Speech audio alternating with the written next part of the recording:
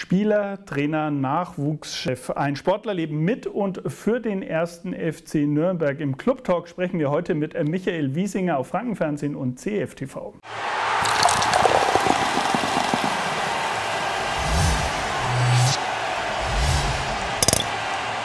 Michael, Servus. Ein Leben für und mit den ersten FC Nürnberg. Ist es richtig? Kann man das so ausdrücken?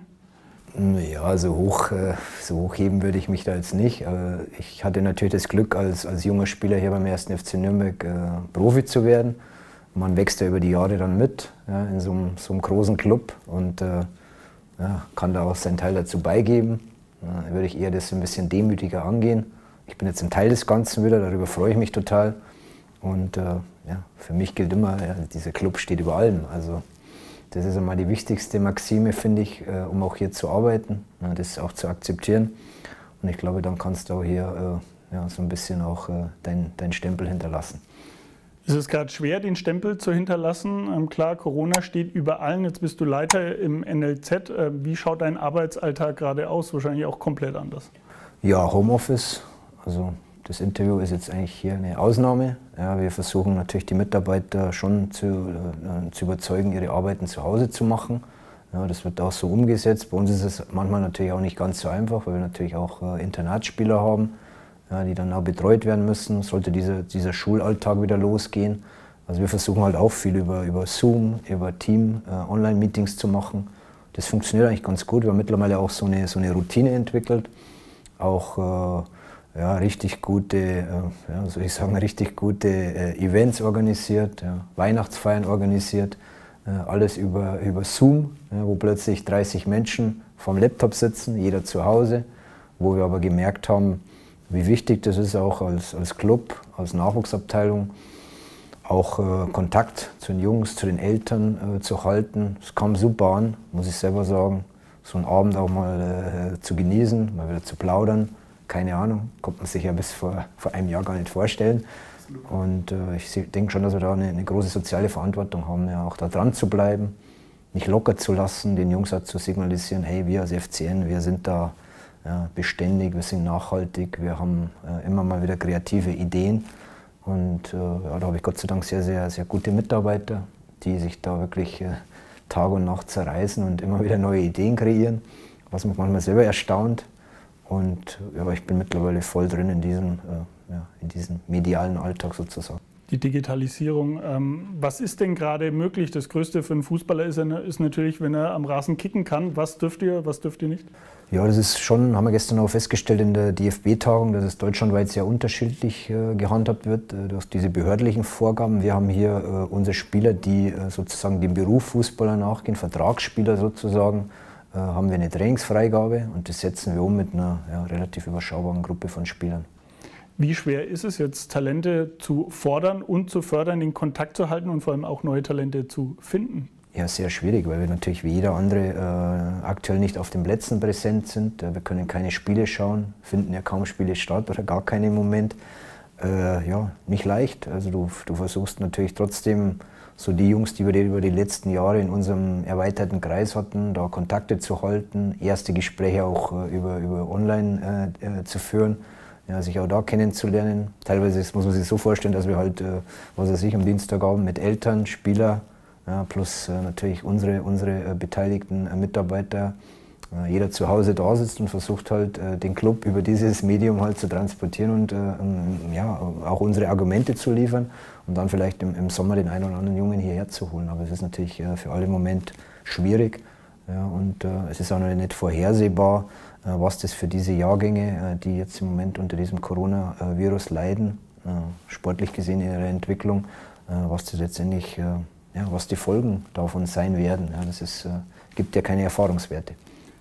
Gibt es ähm, für dich da den Moment, wo man sagt, okay, mit dir kam vielleicht auch eine neue Philosophie, dass man mehr auf die Jugend setzt, ähm, aus einer ähm, Not vielleicht eine Tugend macht, wenn die finanziellen Mittel nicht so da sind? Denkt man sich, bedient man sich lieber aus dem eigenen Nachwuchs? Ähm, stockt es dann eher oder kann man Projekte wirklich auch konkret weiterentwickeln? Ist natürlich schwer. Ne? Naja, für mich ist jetzt auch wichtig, jetzt gerade mit, mit Dieter Hecking kam natürlich jemand, der, der eine Strategie hier äh, entwickelt, ja, wo, ich, wo ich auch involviert bin, ja, dass man sich Gedanken macht, okay, wo, wo, wo steht der Club vielleicht äh, in fünf Jahren oder wo wollen wir stehen, fußballerisch, ja, was wollen wir für einen Fußball spielen, ja, wo soll es hingehen. Und natürlich spielt die, die, die Jugend natürlich eine große Rolle. Ob sich das mit mir jetzt mit geändert hat, äh, weiß ich nicht. Ich gehe mal davon aus, wenn man sich Gedanken macht, jemanden zu erholen mit der Erfahrung, mit den Erfahrungswerten, dass das natürlich schon auch dann Gehör findet. Ja, das Gefühl habe ich auch, ja, dass wir hier dem NLZ äh, schon so ein Prädikat verleihen, äh, wie wir hier arbeiten, nämlich äh, hart, authentisch, ehrlich ja, und äh, wir nicht den klassischen Fußball neu erfinden wollen. Ja, das ist schon so, finde ich, äh, ein Attribut, das zu uns passt. Trotzdem kann man ja innovativ sein auf einer gewissen Art und Weise. Und äh, ja, das das geht vielleicht schon ein bisschen mit mir einher, dass man das ein bisschen mehr noch untermauert hat, würde ich mal sagen. Aber ja, im Fußball ist es schon wichtig, dass man, das habe ich ja vorher gesagt, äh, dass man einfach eine, eine gewisse Philosophie hat. Die sollte am besten personenunabhängig sein und dass der Club einfach für was steht. Ich glaube, das ist das Allerwichtigste. Du hast deine Erfahrung angesprochen, als Spieler, ähm, Trainer, viele Funktionen gehabt. Was braucht für dich ein Fußballer, ein Jugendlicher, dass er den Durchbruch schafft? Egal, ob es jetzt zweite Liga oder vielleicht sogar erste Liga ist. Ich würde sagen, Talent allein reicht nicht aus. Naja, sollte zumindest äh, vorhanden sein. Ist ja klar, wenn so ein Junge mit sechs, sieben, acht Jahren überhaupt kein, kein Bedürfnis hat, mal rauszugehen, zu kicken, ich glaube, dann, dann wird es schon mal schwierig, ja, wenn er zum Training äh, so mehr oder weniger gepackt werden muss. Ich glaube, das ist schon mal ungünstig. So ein, so ein gesunder Eigenantrieb kann auch nur aus eigenen Erfahrungen sprechen. Tag ohne Fußball war ein verlorener Tag. Es ist heutzutage oft schwierig, weil die Jungs natürlich ähm, Verlockungen unterliegen. Ja, das hat sich ein bisschen geändert. Wir kannten damals kein Tablet, kein iPhone. Ich weiß jetzt nicht, wie es bei dir war, ähnlich. aber wahrscheinlich ähnlich. Äh, es gab halt mal, ja, irgendwann kam halt mal die Tennis, äh, Tennisphase, wo man gesagt hat, okay, jetzt schauen wir uns mal Tennis an, aber dann war sofort wieder bei mir zumindest der Fußball da. Und da müssen wir, glaube ich, im Moment ein bisschen aufpassen. Äh, ja, es, es, merkt man schon, es herrscht schon so ein Wettbewerb. Wie machen wir uns noch äh, attraktiver?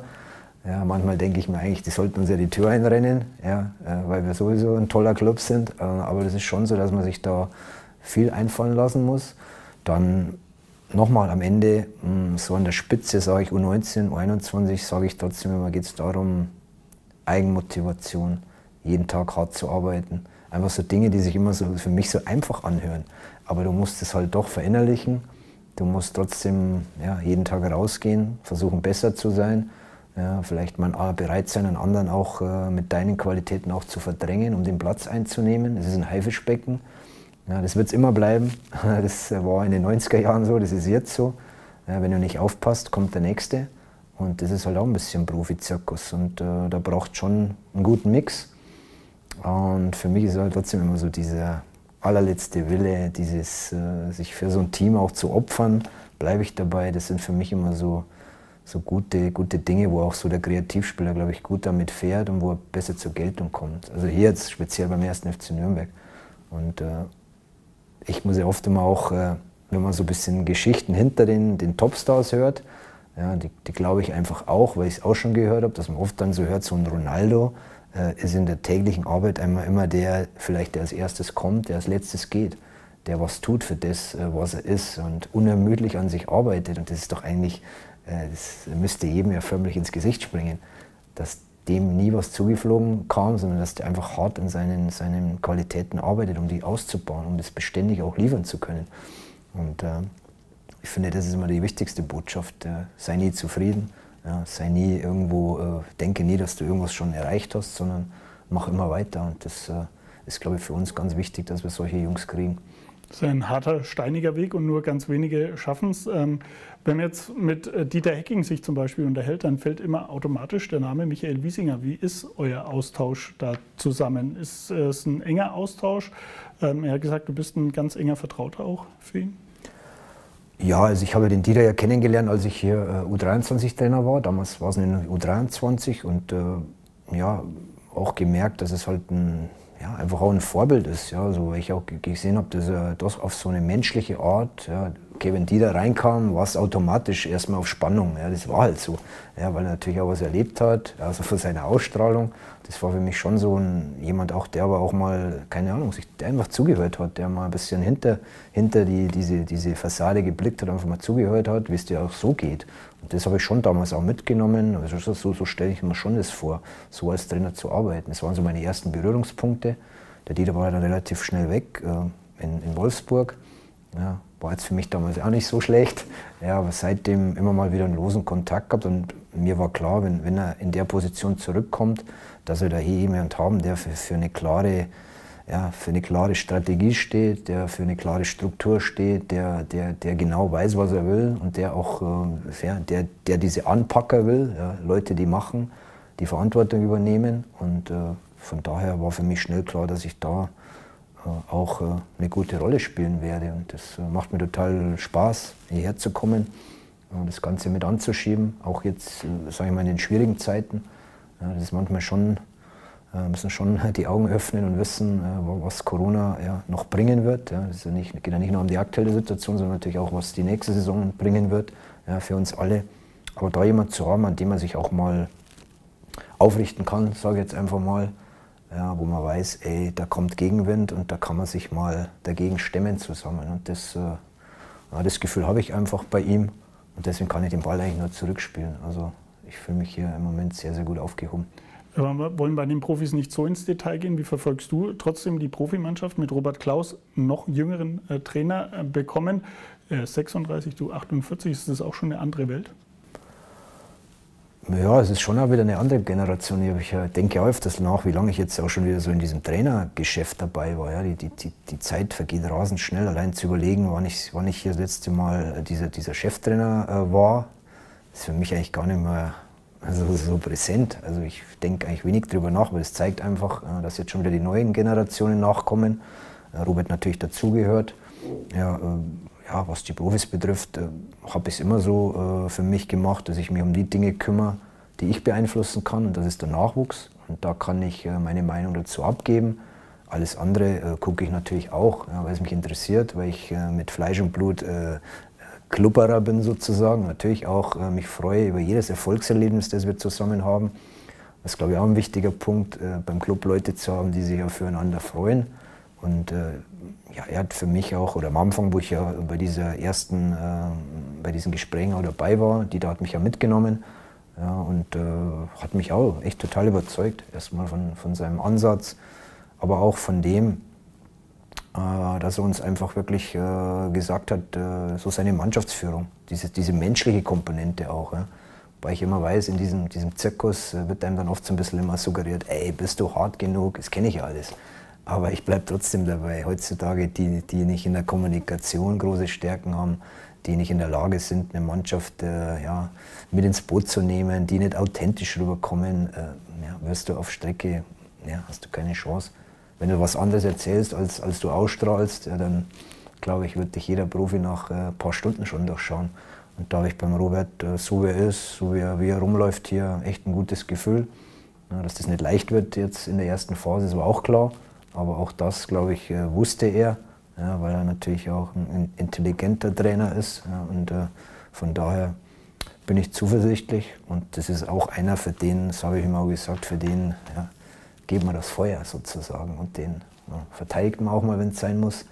Und mit dem freut man sich auch, wenn er seine, seine äh, Siege einfährt. Und äh, ich finde, so muss es sein. Und trotzdem kann man ja irgendwo mal äh, miteinander kritisch äh, diskutieren. Und so ist es auch bei uns.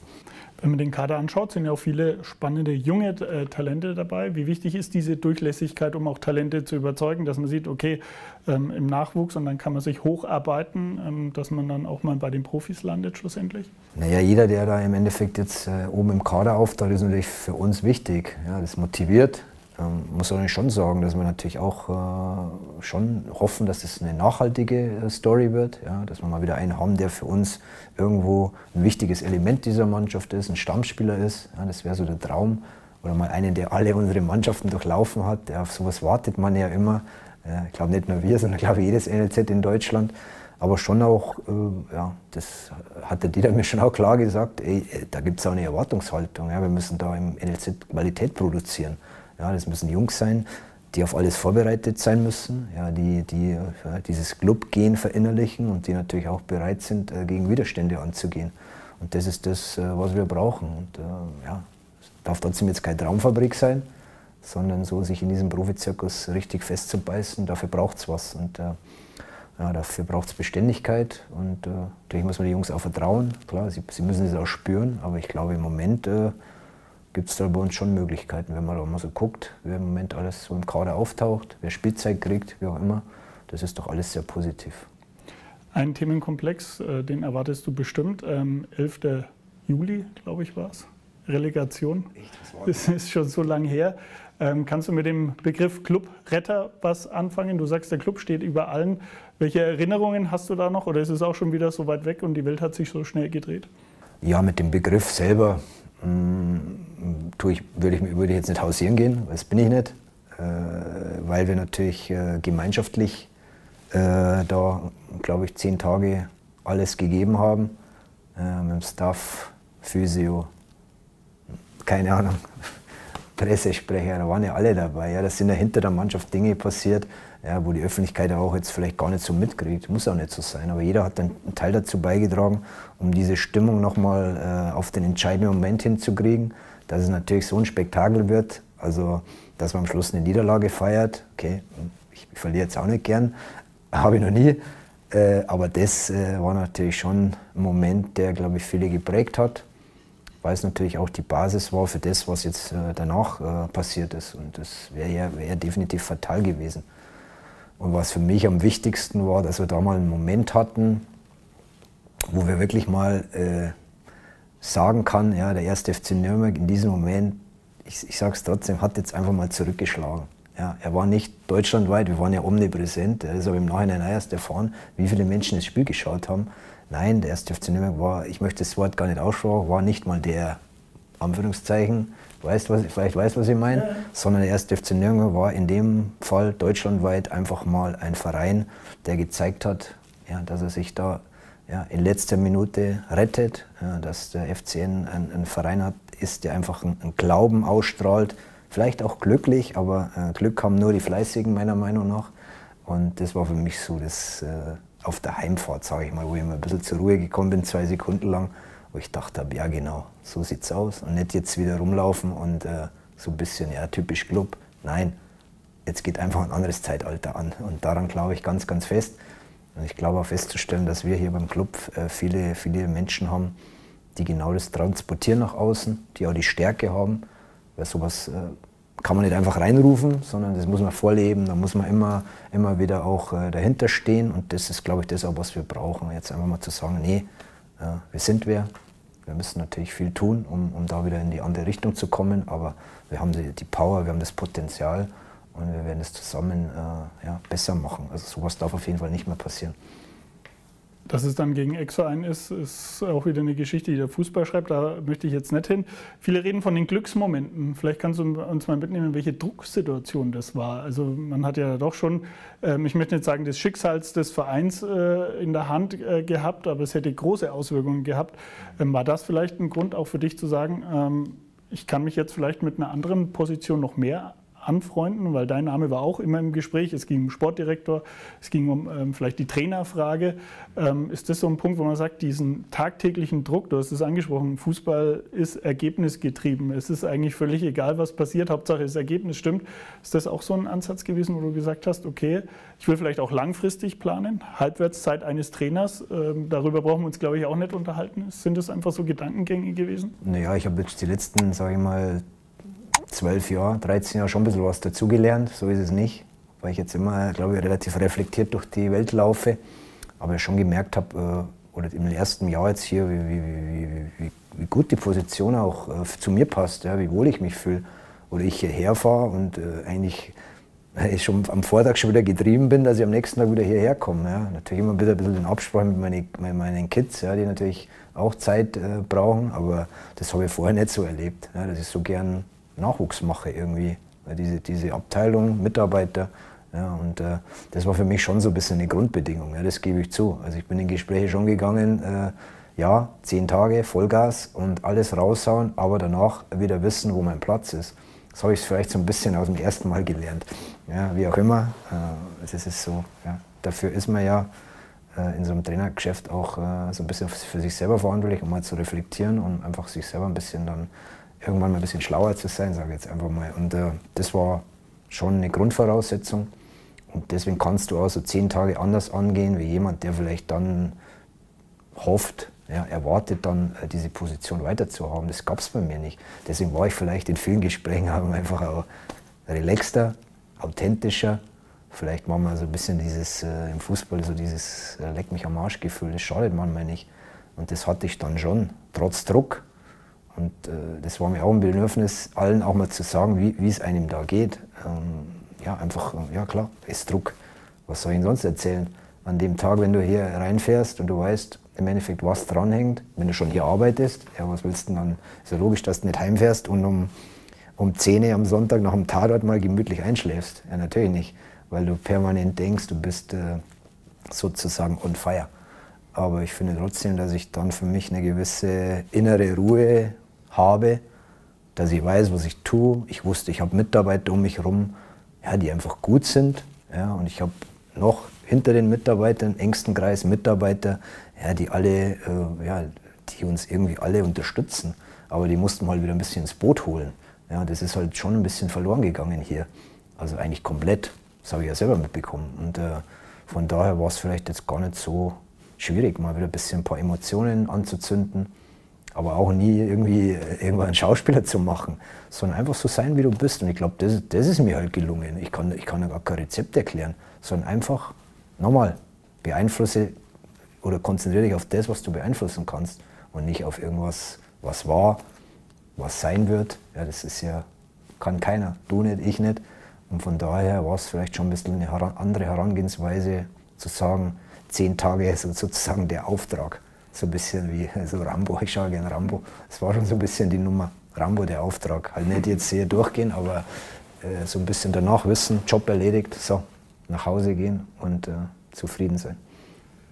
Du hast erzählt, an die Relegation kannst du dich eigentlich nicht mehr so erinnern, das ist ja schon lang her. Ähm, bewegte Karriere auch als äh, Profi, Champions League-Sieger, deutscher Meister, Pokalsieger, ähm, einiges erlebt, Aufstiege. Ähm, wie sehr beeinflusst dich das noch? Ist es noch irgendwann mal, wo man sich gern zurückerinnert an irgendwelche Highlights, Partys, Feiern, äh, jetzt wo man nicht feiern kann, vielleicht wieder? Und im Umkehrschluss auch viele Funktionäre erlebt, Trainer. Wie sehr prägt es dich noch? Naja, alles. Ich merke gerade, dass die Generation, mit der ich jetzt arbeite, also mich jetzt als Spieler gar nicht mehr kennen. Also ich muss ja schon bei meinen Kindern kämpfen, wenn die so, dann. Ja, meine Kinder schon sagen, du, was, du, wenn sie es nicht glauben, ja, dann graue ich halt irgendwas raus. Ja, da erzähle ich dann schon ein paar Geschichten, damit die wissen, hey, der Papa, ja, der, das war ein guter Spieler. Aber das ist ja logisch, du kannst hier nicht punkten, wenn du den Jungs irgendwas von deiner Karriere erzählst, aber du kannst halt schon punkten, wenn du sagst, ja, dass, ich, dass ich halt einfach gewisse Erfahrungswerte habe. Ja, und das ist, äh, muss man schon ein bisschen aufpassen ja, dass man sich da nicht verliert in seinen eigenen äh, Stories, die keiner mehr hören will. Ja, die Jungs, die kennen Messi, die kennen äh, ja, Lewandowski, keine Ahnung. Diese, diese Jungs, also da braucht man jetzt auch nicht äh, irgendwie sich was vormachen, aber man, man, man, nimmt halt was mit aus Gesprächen. Ich habe ich hab das Glück gehabt, äh, richtig erfolgreiche Menschen als Teamkameraden zu haben, in, einem, in einer Funktionärsebene zu haben. Und das ist so diese Bayern-Story, ja, die war viel wert. Kahn, äh, Effenberg, wie die alle hießen. Ja, äh, Salihamidzic, jetzt Sport. Sind solche Typen jetzt noch denkbar? Als Spieler? Ja.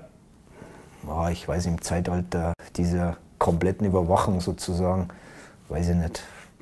Nee, glaube ich, könnte schwer werden. Aber ich, ich weiß ja, wie sie von ihrer Einstellung waren. Ja, wenn, wenn, wenn Training war, sage ich mal um 10 Uhr, wenn Ampfiff war, dann waren die halt voll da. Und äh, auch bei den Spielen, ja, wenn Spotlight war sozusagen, da wurde halt abgeliefert. Und das ist schon eine Fähigkeit. Wir haben unter der Woche auch viel Gaudi gemacht. Ja, da war es manchmal gar nicht so konzentriert, aber die hatten halt wirklich, das war so ein bisschen der Unterschied zum Club, ja, wo wir hart gearbeitet haben, wo wir gedacht haben, jetzt haben wir so gut trainiert und kriegen es am Wochenende nicht auf diese Platte. Und bei Bayern war es oft umgekehrt, die ganze Woche ein bisschen, äh, ja, hier ein bisschen locker. Und am Wochenende war wieder ein wichtiges Spiel und äh, 15.30 ja, stand es nach 10 Minuten 3-0. Ja, das ist halt äh, wahrscheinlich eine andere Qualität und über die Jahre halt ja, echtes Glück gehabt, äh, mit, mit vielen guten Leuten zu tun zu haben. Und das äh, kann man sich schon aneignen, daraus kann man lernen. Gibt natürlich auch schlechte, es gab schlechte Trainer, es gab schlechte Phasen, wo ich immer gedacht habe, äh, hör mal, was macht der gerade? Aber ich habe mitgenommen, dass man auch das dann durchziehen kann. Ja. Auch da muss man nicht immer alles hinterfragen als Fußballer, sondern da muss man einfach mal durchgehen, auch wenn es weh tut. Und äh, nur so wirst du irgendwann zum gestandenen Fußballer. Und das, äh, ja, das war immer so ein bisschen mein Credo. Und, äh, aber nochmal, jetzt sind es andere Jungs, andere Spieler. Ja, es hat sich verändert, ja, vieles hat sich äh, ja, gedreht. Und das müssen wir halt als äh, diese geborenen 70er Jahre, wo ich herkomme, äh, muss man ja akzeptieren. Dass, jetzt ein, dass man schon in der Lage sein muss, so ein paar Dinge auch zu akzeptieren und das äh, auch dann so ein bisschen auch anzuwenden. Ich finde schon, dass das wichtig ist, gerade in der NLZ-Leitung. Zum Abschluss noch, letzter Komplex. Ähm, Fußball so in Deutschland wird ja sehr kritisch gesehen von der Nationalmannschaft über die Bundesliga, zweite Liga. Wie bewertest du das? Du bist im Nachwuchs äh, tätig. Ähm, ist es in die richtigen Bahnen gelenkt oder muss man sagen, man muss äh, bei allen Widrigkeiten, die jetzt herrschen, mit Ablenkungen, mit äh, Corona einfach vielleicht auch neue Wege gehen, andere Wege gehen? Naja, wir sind ja mittendrin in dem Projekt Zukunft vom DFB. Ja, da wurden wir natürlich als Clubs natürlich auch mitgenommen. Wir hatten hier Besuch, äh, wir haben einen Austausch gehabt. Also vieles finde ich spannend. Ich weiß aber nicht, dass wir natürlich auch hier gut arbeiten. Ja. Man muss nicht komplett alles auf den, auf den Kopf stellen. Aber klar kann man sich Gedanken machen, wie bildet man Trainer aus, hat man da ein bisschen was verändert. Ja, muss man immer direkt den Weg äh, Fußballlehrer an die Spitze suchen mit, oder ob man ein bisschen runterbricht und sagt, hey, gib den Trainer ein bisschen mehr äh, irgendwo äh, eine, eine, Planke, ja, dass sie sich früher mal entscheiden müssen, will ich ins LZ, will ich ein richtig guter Nachwuchstrainer werden oder will ich klar in diese Profinummer rein. Ich finde, das ist ein guter Ansatz, um den Jungs, die, die am längsten an den Spielern dran sind, sind halt mal die Trainer. Und wenn du im Nachwuchs, im Jugendbereich einen guten Trainer hast, das wird wahrscheinlich ja jeder sagen, dann ist das schon mal viel wert. Also da finde ich definitiv ja, Veränderungen, ja.